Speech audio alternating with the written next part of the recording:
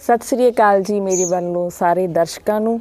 ਤੇ ਜਿੱਦਾਂ ਕਿ ਮੈਂ ਲੋਕ ਗੀਤਾਂ ਦੀ ਲੜੀ ਸ਼ੁਰੂ ਕੀਤੀ ਹੋਈ ਆ, ਤੇ ਅੱਜ ਇੱਕ ਪਿਆਰੀ ਜੀ ਦੁਆਬੇ ਦੀ ਘੋੜੀ ਆਪਾਂ ਪੇਸ਼ ਕਰਾਂਗੇ, ਜਿੱਦਾਂ ਕਿ ਤੁਸੀਂ ਸਾਰੇ ਜਾਣਦੇ ਹੋ ਕਿ ਮੁੰਡੇ ਦੇ ਵਿਆਹ ਤੇ ਗਾਏ ਜਾਣ ਵਾਲੇ ਗੀਤਾਂ ਨੂੰ ਘੋੜੀ ਆਖਿਆ ਜਾਂਦਾ ਜਾਂ ਘੋੜੀਆਂ ਆਖਿਆ ਜਾਂਦਾ ਹੈ ਤਾਂ ਘੋੜੀਆਂ ਦੇ ਵਿੱਚ ਮੁੰਡੇ ਦੀ ਠਾਠ ਬਾਠ ਜੋ ਜੰਜ ਚੜ੍ਹਦੀ ਹੈ, ਉਹਨਾਂ ਦੀ ਠਾਠ ਬਾਠ ਦੀ ਗੱਲ ਕੀਤੀ ਜਾਂਦੀ, ਉਸ ਤੇ ਲਾੜੇ ਦੇ ਪਹਿਰਾਵੇ ਦੀ ਗੱਲ ਕੀਤੀ ਜਾਂਦੀ ਆ।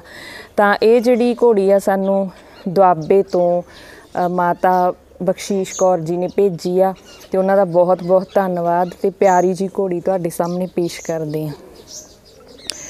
ਵੀਰਾਵੇ ਵਾਜੇ ਨਾਲ ਸਪੀਕਰ ਵੱਜੇ। ਵੀਰਾਵੇ ਵਾਜੇ ਨਾਲ ਸਪੀਕਰ ਵੱਜੇ।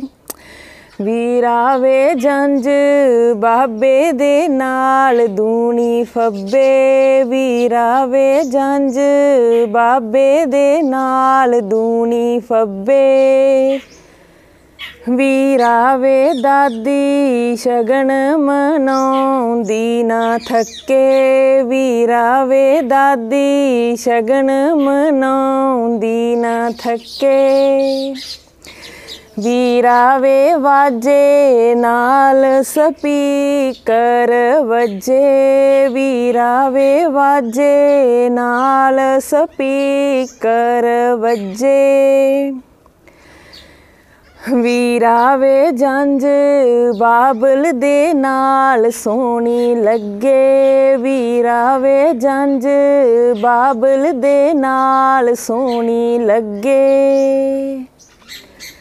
ਵੀਰਾਵੇ ਮਾਤਾ, ਸ਼ਗਨ ਮਨਾਉਂਦੀ ਨਾ ਥੱਕੇ। ਵੀਰਾਵੇ ਮਾਤਾ, ਸ਼ਗਨ ਮਨਾਉਂਦੀ ਨਾ ਥੱਕੇ। ਵੀਰਾਵੇ ਵਾਜੇ, ਨਾਲ ਸਪੀਕਰ ਵੱਜੇ। ਵੀਰਾਵੇ ਵਾਜੇ, ਨਾਲ ਸਪੀਕਰ ਵੱਜੇ। ਵੀਰਾਵੇ ਜੰਜ ਪਾਈਆਂ ਦੇ ਨਾਲ ਸੋਹਣੀ ਲੱਗੇ। ਵੀਰਾਵੇ ਜੰਜ ਪਾਈਆਂ ਦੇ ਨਾਲ ਸੋਹਣੀ ਲੱਗੇ। ਵੀਰਾਵੇ ਪਾਬੋ ਸ਼ਗਨ ਮਨਾਉਂਦੀ ਨਾ ਥੱਕੇ। ਵੀਰਾ ਵੇ ਪਾਬੋ ਸ਼ਗਨ ਮਨਾਉਂਦੀ ਨਾ ਥੱਕੇ। ਵੀਰਾ ਵੇ ਵਾਜੇ ਨਾਲ ਸਪੀਕਰ ਵੀਰਾ ਵੇ ਵਾਜੇ ਨਾਲ ਸਪੀਕਰ ਵੱਜੇ। ਵੀਰਾਵੇ ਜੰਜ ਜੀਜੇ ਦੇ ਨਾਲ ਸੋਹਣੀ ਲੱਗੇ। ਵੀਰਾ ਵੇ ਜੰਜ ਜੀਜੇ ਦੇ ਨਾਲ ਦੂਣੀ ਫੱਬੇ। ਵੀਰਾਵੇ ਪੈਣਾ ਸ਼ਗਨ ਮਨਾਉਂਦੀ ਨਾ ਥੱਕੇ। ਵੀਰਾਵੇ ਪੈਣਾ ਸ਼ਗਨ ਮਨਾਉਂਦੀ ਨਾ ਥੱਕੇ।